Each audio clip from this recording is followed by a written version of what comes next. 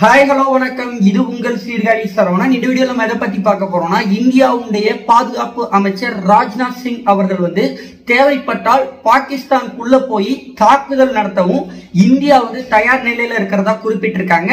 மேலும் பயங்கரவாதிகளுக்கு எதிராக தற்போது ஜம்மு காஷ்மீர் காவல்துறையினர் சிஆர்பிஎஃப் பார்டர் செக்யூரிட்டி போர்சஸ் மேற்கொள்ளக்கூடிய நடவடிக்கைகள் எல்லைக்குள்ள இருக்கக்கூடிய இந்தியா பகுதியில மட்டும் கிடையாது. பாகிஸ்தான் பகுதிகளுக்கும் சேர்த்துதான். தேவை ஏற்படும் பட்சத்துல நிச்சயமா நாங்க வந்து பாகிஸ்தானுக்குள்ள போய் அதிரடியான ஒரு சர்ஜிக்கல் ஸ்ட்ரைக்கை வந்து மேற்கொள்வோம் அப்படிங்கிற மாதிரி குறிப்பிட்டிருக்காங்க. மேலும் ரஜோரி மற்றும் பூஞ்ச் மாவட்டங்கள்ல வந்து பெரிய அளவுல பயங்கரவாதிகளினுடைய தாக்கம் இருக்கிறதாவும் குறிப்பிட்டிருக்காங்க. ஹைபிரைட் பயங்கரவாதிகள் சொல்லப்படக்கூடிய அதாவது ஆஹ், பெரிய ஒரு இலக்கு ராணுவத்தின் மேல தாக்குதல் நடத்த மாட்டாங்க. பெரிய இடங்கள்ல வந்து தாக்குதல் நடத்த மாட்டாங்க. சாதாரண பொதுமக்கள் பாதுகாப்பு குறைவான அரசியல் தலைவர்கள் காவல்துறையினர் காவல்துறையிலே கூட கான்ஸ்டேபிள் மாதிரியான ரேங்க்ல உள்ளவங்களை மட்டும் டார்கெட் பண்ணக்கூடிய பயங்கரவாதிகள். இவங்களுடைய எண்ணிக்கை வந்து அதிகமா இருக்கு. இவங்களுக்கு எதிராக தான் இப்போ வந்து தொடர்ச்சியா வந்து அந்த மாநிலத்தினுடைய காவல்துறையும் ராணுவமும் வந்து நடவடிக்கை எடுத்துக்கிட்டு இருக்காங்க. இதுல வந்து பூஞ்ச் பகுதியில வந்து தேடுதல் வேட்டையை வந்து தீவிரப்படுத்தியிருக்காங்க. பலரும் என்கவுண்டர் செய்யப்பட்டுக்கிட்டு இருக்காங்க. சோ அந்த பூஞ்ச் மற்றும் ரஜோரி இந்த ரெண்டு மாவட்டமுமே பாக் ஆக்கிரமிப்பு காஷ்மீர் பகுதியை ஒட்டி வருது. இயல்பாவே ஜம்மு காஷ்மீர் முழுவதையும் விட இந்த பாக் ஆக்கிரமிப்பு காஷ்மீரை ஒட்டிய மாவட்டங்கள்ல தான் வன்முறை மற்றும் பயங்கரவாத சம்பவங்கள் வந்து எப்பவுமே அதிகமா இருந்திருக்கு கடந்த காலங்கள்ல இருந்தும். இப்பயும் கூட அந்த பகுதியில தான் பயங்கரவாதிகளால பெரிய அளவுல ட்ரெட் இருக்கு. சோ அந்த பகுதியில வந்து முழுமையான நடவடிக்கை வந்து எடுத்துக்கிட்டு இருக்கோம் அப்படிங்கிற மாதிரி குறிப்பிட்டிருக்காங்க. மேலும் ஆர்டிகல் த்ரீ செவன்டி நீக்கினதுக்கு அப்புறம் பெரிய அளவுல வந்து ஜம்மு காஷ்மீர்ல வன்முறை ஏற்படும் அப்படின்லாம் சொல்லியிருந்தாங்க. ஆனா ஒன்னு ரெண்டு சம்பவங்களை தவிர்த்து பெரிய அளவுல எந்த ஒரு அசம்பாவிதங்களும் நிகழல. அமைதியான ஒரு மாநிலமா தான் ஜம்மு காஷ்மீர் இருக்கு அப்படிங்கிற மாதிரி குறிப்பிட்டிருக்காங்க. அதே மாதிரி பாகிஸ்தான் கூட வந்து பேச்சுவார்த்தை நடத்துறதுக்கு வாய்ப்பில்லை. முந்தைய அரசாங்கங்கள் வந்து தீவிரவாதிகளுக்கு எதிராக ஒரு மென்மையான போக்கை கடைபிடித்ததாகவும் பிரதமர் மோடி தலைமையிலான மத்திய அரசு வந்து பயங்கரவாதிகளுக்கு எதிராக தீவிர நடவடிக்கையில வந்து இறங்கி இருக்கிறதாகவும் குறிப்பிட்டிருக்காங்க. சோ இது இதுல இருக்கிற விஷயம். ரெண்டாவது அப்டேட் பார்த்தோம்னா பிரதமர் மோடி அவர்களுடைய இத்தாலி பயணம். இத்தாலியில ஜி டுவெண்ட்டி மாநாடு வந்து நடந்துகிட்டு இருக்கு. இந்த ஆண்டு இந்த ஜி டுவெண்ட்டி மாநாட்டுக்கு வந்து இத்தாலி தான் தலைமை. சோ அவங்க தலைமையில் நடக்கிறதுனால இத்தாலியினுடைய தலைநகரான ரோம்ல வந்து இந்த மாநாடு நடக்குது. இதுல வந்து பல்வேறு நாடுகளுடைய பிரதமர்கள் முக்கிய தலைவர்கள் வந்து பங்கேற்றிருந்தாங்க. இந்த மாநாட்டில் இந்தியா சார்பில் பிரதமர் மோடி அவர்களும் பங்கேற்றிருந்தாங்க. அது மட்டும் இல்லாமல் ஆயிரத்தி தொள்ளாயிரத்தி தொண்ணூத்தி ஒன்பதுல அடல் பிகாரி வாஜ்பாய்க்கு அப்புறம் இந்தியாவுடைய பிரதமரா போப் பிரான்சிஸ் வந்து சந்திச்சு பேசினாங்க. இந்த ஒரு சந்திப்பு வந்து இருபது நிமிடங்கள் நடக்கும் அப்படின்னு சொல்லியிருந்தாங்க. ஆனாலும் ஒரு மணி நேரத்திற்கு வந்து போப் அவர்களுக்கும் இந்திய பிரதமருக்கும் இடையிலான அந்த உரையாடல் வந்து நீடிச்சுது.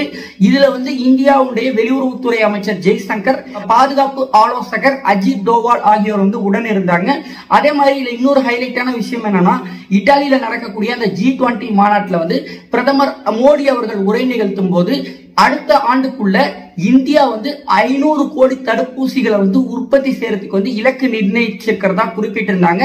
இந்த மாநாட்டுல அமெரிக்காவுடைய அதிபர் ஜோ பைடன் அவர்கள் வந்து பிரதமர் மோடி அவர்களுடைய தோல் மேல வந்து கை போட்டு உரையாடினாங்க. அதே மாதிரி பிரான்ஸ் அதிபர் இமானுவேல் மெக்ரோன் அவர்களுக்கு வந்து இந்தியா தரப்புல வந்து முக்கியத்துவம் கொடுத்திருந்தாங்க. ஆரம்பத்திலிருந்தே இரு தலைவர்களும் ஒன்னாதான் சந்திச்சு பேசுனாங்க. இமானுவேல் மெக்ரோன் அவர்கள் வந்து பிரதமர் மோடி அவர்களுடைய கையை பிடித்துக் கொண்டு இந்த ஜி டுவெண்டி மாநாட்டில் வந்து உரை நிகழ்த்தினாங்க. மேலும் இருவரும் தனியா சந்திச்சும் பேசுனாங்க. இதுல வந்து முக்கியமான ஒரு விஷயம் என்ன சொல்றாங்கன்னா அவுகஸ் உடன்பாட்டின்படி பிரிட்டனும் அமெரிக்காவும் சேர்ந்து ஆஸ்திரேலியாவுக்கு வந்து பெரிய அளவுல நியூக்ளியர் சப்மரின்ஸ் தான் கொடுக்குறாங்க இல்லையா? இதற்கு வந்து முக்கியமான காரணம் என்ன சொல்றாங்கன்னா அமெரிக்காவுடைய அதிபர் ஜோ பைடன் அவர்கள் என்ன நினைக்கிறாங்கன்னா குவாட் கூட்டணியில இருக்கக்கூடிய அமெரிக்காவுக்கு அப்புறம் வலிமையான நாடு வந்து இந்தியா தான். America India Japan Australia. இதுல வந்து இந்தியா வந்து ராணுவ ரீதியா அமெரிக்காவுக்கு அடுத்த ஒரு வலுவான நாடா இருக்காங்க. இந்தியாவிற்கு வந்து நம்மளுடைய சப்மரைன்ஸ் அட்வான்ஸ்டு ராணுவ தளவாடங்களை கொடுக்கும் பட்சத்துல நாளைக்கு வந்து சீனா மாதிரியே இந்தியாவும் வளர்ந்து நமக்கு ஒரு சவாலா வரதுக்கு வாய்ப்பு இருக்கு அப்படிங்கிற மாதிரி அமெரிக்கா கருதுறாங்களாம்.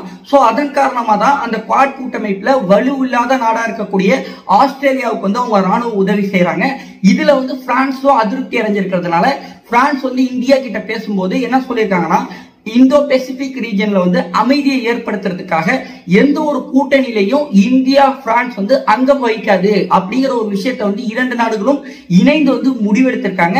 இதன் அடிப்படையில தான் வரும் நாட்கள்ல வந்து இந்தோ பெசிபிக்ல வந்து செயல்பட இருக்கிறாங்க. மேலும் பிரான்ஸ் வந்து அமெரிக்கா எப்படி ஆஸ்திரேலியாவுக்கு அதிநவீன ராணுவ தளவாடங்கள் கொடுக்குறாங்களோ அதே மாதிரியே வந்து இந்தியாவிற்கு தரத்துக்கு தயாரா இருக்கிறதாவும் குறிப்பிட்டிருக்காங்க. சோ இதன் காரணமாக தான் இந்தியா பிரான்ஸ் இடையில வந்து ஒரு புதிய நெருக்கம் ஏற்பட்டிருக்கு.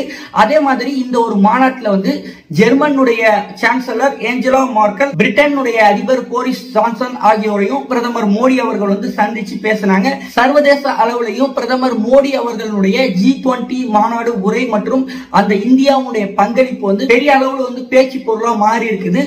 ஸோ இதான் இந்த ஒரு பதிவில் நான் சொல்ல வந்த விஷயம். இது சம்பந்தமான உங்களுடைய கருத்துக்கள் அவசியம் பதிவு பண்ணுங்க. இந்த வீடியோ உங்களுக்கு பிடிச்சிருந்ததுன்னா உங்களுடைய நண்பர்களுக்கும் மறக்காம ஷேர் பண்ணுங்க. சப்ஸ்கிரைப் பண்ணுங்க. பெல் ஐக்கான் பிரஸ் பண்ணுங்க. தேங்க்யூ ஃபார் வாட்சிங் ஜெய் ஹிந்த்